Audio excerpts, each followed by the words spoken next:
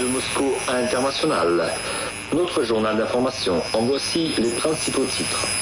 Le président Bolkestein a signé l'accord sur le partenariat et la coopération entre la Russie et l'Union européenne.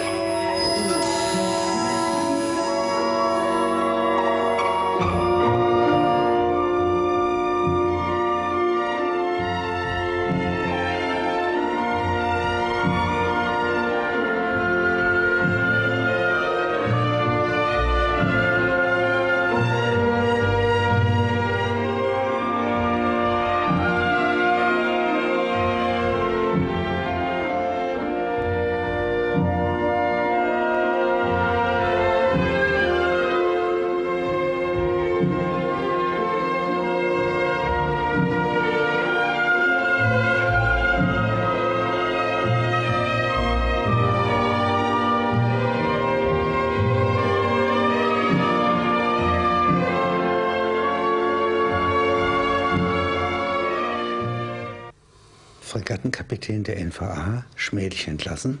Ja, Sie haben etwas daraus gemacht. Ja, es blieb mir ja gar nichts anderes übrig, als was daraus zu machen. In dem Moment, wo man enteignet ist, ist man auf das reduziert, was man ist, ein Mann. Und zwar vom materialistischen Standpunkt. Das ist Karl Marx, ja, nicht? Also irgendetwas Menschliches bleibt übrig. Eben. Kann man sagen, das ist der ja. wesentliche Inhalt von Karl Marx. Sie sind doch Marxist. Sicher, sicher. Haben wir ja gelernt. Ja, haben wir gelernt und haben wir auch durchgeführt. Ja, denn ich meine, äh, von der Pension her wäre ich in der Warteschleife gewesen. Also habe ich mich umgeschaut nach dem einzig Vernünftigen, nämlich nach einem Erbe eine Erbin, eine rheinische Industriellentochter. Ja, ja, ja. ja. Genau, ja. Schwer herzkrank, wurde wohl nicht mehr sehr lange machen. Ist auch inzwischen unter der Erde. Aber sie mochte sie. Das heißt, ich mochte sie, sie auch. Anderthalb Jahre Glück bereitet. Richtig, und äh, sie mochte mich auch. Und das war. Sie waren im Ernstfall nicht berechnet. Also wenn Sie Samenerguss hatten, waren Sie nicht berechnet. Ja? Wenn Sie sie umfingen, ja, der Schweiß des einen sich mit dem Schweiß des anderen mischte, ja, waren sie Wie genau wollen Sie es wissen? aufs Erbe aus. Nein, natürlich nicht. Das Erbe war ja auch sicher. In dem Moment, wo diese äh, Vereinigung vollzogen war, und wir haben ja mit offenen Karten gespielt. Sie die Eltern waren kritisch. Die konnten, die, konnten, die konnten kritisch sein, wie sie wollten. Die Tochter hatte ihren eigenen Kopf. Und sie war auch nicht mehr die Jüngste. Aber sie wollte halt, sie wusste, dass es auch mit ihrem Leben nicht mehr so lange gehen wird. Das war ihre Chance. Das war nicht nur meine Chance, sondern es war ein Abkommen auf Gegenseitigkeit, das völlig aufgegangen ist. Sie hat diese anderthalb Jahre an mir alles gehabt, was sie von einem Mann erwarten kann. Sie sind ja über eine Agentur daran gekommen, eine Vermittlungsagentur. Eine private, ja. ja. Sehr diskret, sodass das alles. Die haben 10.000 Mark von Ihnen genommen und 20.000 Mark von der anderen Seite. Ja, ja danach klappt es. Spielt im Verhältnis zu dem, um was es ging, überhaupt keine Rolle. Wie kann jemand, der nur so ein paar sozialistische Schulungen hat und ein Militär ist und die Ostsee kontrollieren gelernt hat, wie kann der eigentlich so schnell im kapitalistischen Geschehen ja, quasi nicht die, äh, äh, die Erfahrung der Jetztzeit nur, sondern die Erfahrung von 1890 haben, ja, wo solche Schicksale typisch waren. Aufstiege. Ja, ja, sicher. Ich meine, Sie müssen gelernt haben, und das habe ich gelernt, wie man führt. Und ob Sie das nun ein westdeutsches Industrieunternehmen ist oder, äh, eine, oder eine, ein Flottenverband der Nationalen Volksarmee. Das ist ziemlich interessanterweise äh, nicht unterschieden. Ja, das ist sehr wenig Unterschiede. Das können Sie nur gut oder schlecht machen. Sie hatten im Grunde. Auch in der Ehe können Sie nur gut oder schlecht führen. Hm.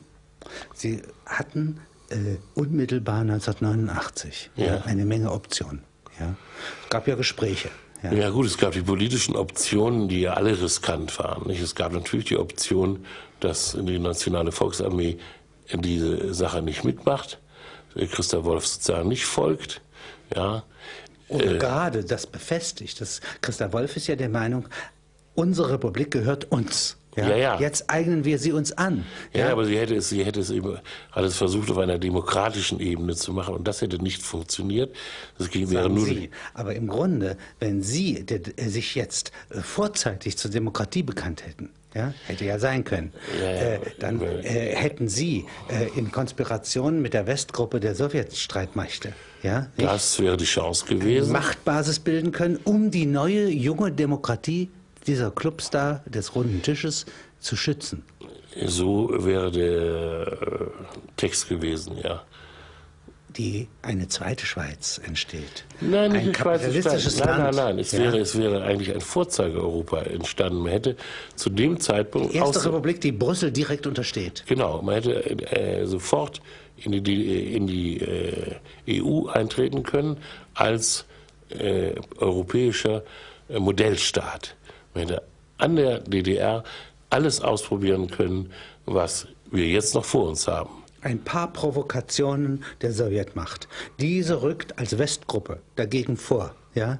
Sie als nationale Volksarmee, so wie beim Ungarnaufstand, ja, äh, bringen jetzt sozusagen den Frieden, ja, die Vermittlung. Dies wäre doch zusammen mit Wahlen ja, nicht? Und dem Dann, Tisch. dann wären eben Wahlen sinnvoll gewesen, aber erst dann.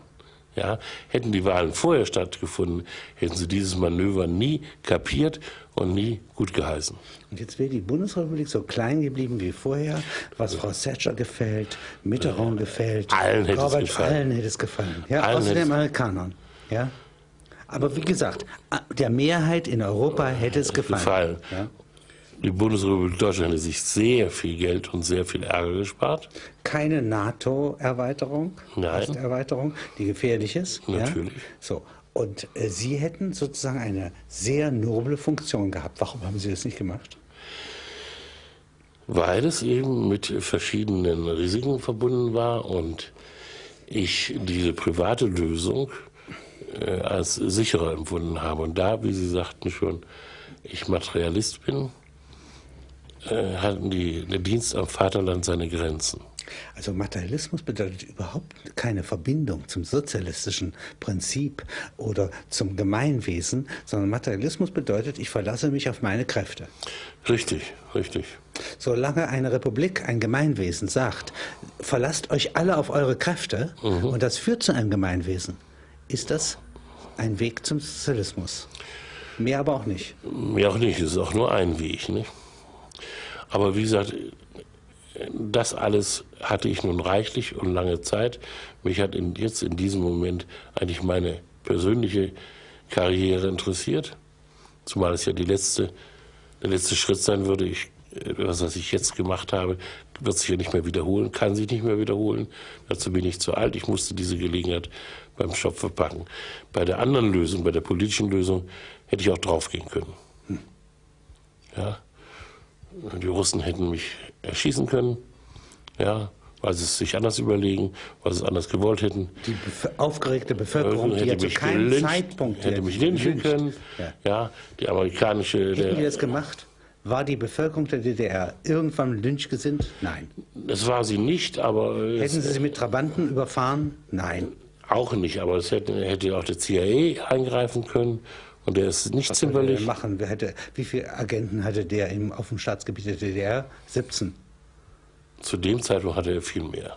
400. Oh ja. Was sind 400 Agenten gegen die Nationale Volksarmee? Eine Kugel reicht, um einen Menschen umzubringen, ja. Also hätten Sie sein können. Hätte ich sein können. Das haben wir alles, Und so denkt jeder Oberst, jeder Generalleutnant die Übung. nicht jeder, aber ich meine, die anderen haben überhaupt nicht sehr weit gedacht, nicht? 15 Jahre vorher ja. Ja. haben Sie ja im Grunde Planungen gehabt, ja, Mhm. äh, die äh, eine Offensive bis zum Atlantik vorsahen. Ja? War das realistisch? Die Planungen waren da. Ob sie realistisch waren, weiß ich nicht.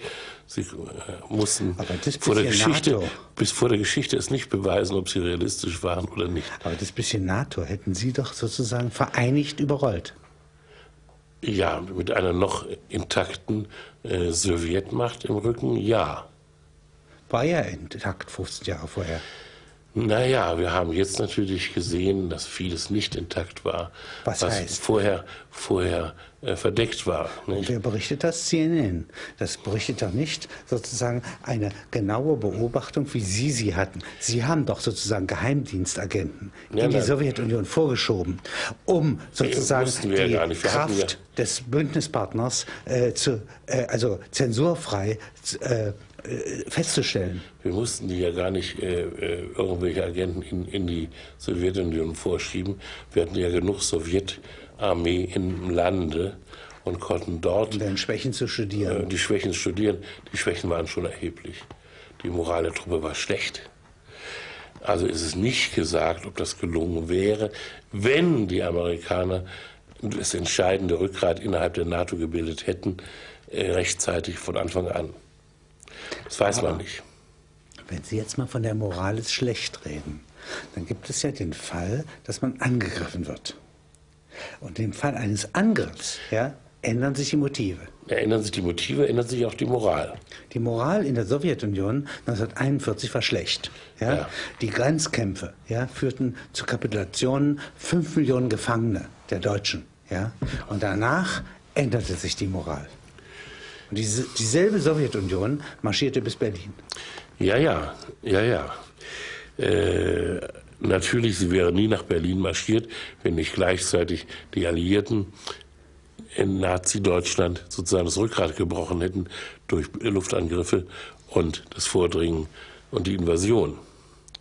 Also wir wären nie nach Berlin marschiert. Wenn das ich aber nie in einem Schulungsvortrag ja, vor einiger Zeit gesagt. Ja, wir sind jetzt ja auch nicht vor einiger Zeit, sondern sind heute.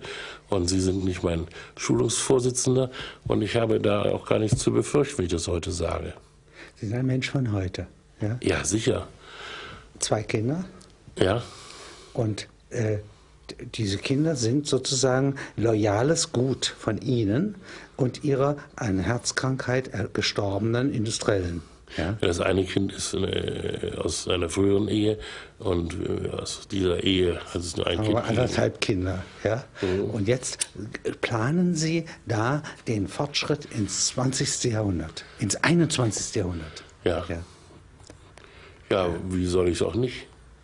Und das Meine, ist Ihr äh, darin sind Sie Patriot. Dann bin ich nicht Patriot, sondern dann bin ich Geschäftsmann. Ich meine, wer jetzt nicht plant, äh, ist im nächsten Jahrhundert nicht mehr dabei. Sie sind ursprünglich Patriot der DDR. Jetzt sind Sie Patriot von was? Ich weiß nicht, ob das Wort Patriot, äh, das zählt heute für mich überhaupt nicht mehr. Ich war das letzte Mal ein Sie Patriot. Patriot Ihrer Familie. Einzelkämpfer von Valmy für die Familie. Nein, also das äh, lehne ich ab. Ich bin kein Patriot meiner Familie, sondern ich bin ein sorgender Familienvater und ich bin ein Industrieller und ich kümmere mich um die Familie. Und ich Patriot mich, von sich selbst? Ich würde jetzt äh, nochmal sagen, das Wort Patriot stimmt nicht mehr. Ich war Patriot der DDR. Kann nie wieder mit, ein anderer werden. Und kann nie wieder ein anderer werden, will auch kein anderer mehr werden.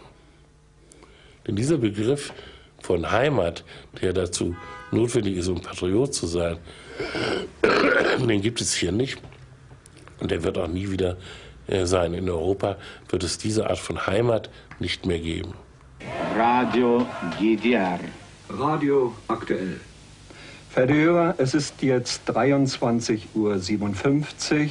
Bevor unser Programm am 2. Oktober 1990 beendet ist, hören Sie zum letzten Mal die Nationalhymne der Deutschen Demokratischen Republik.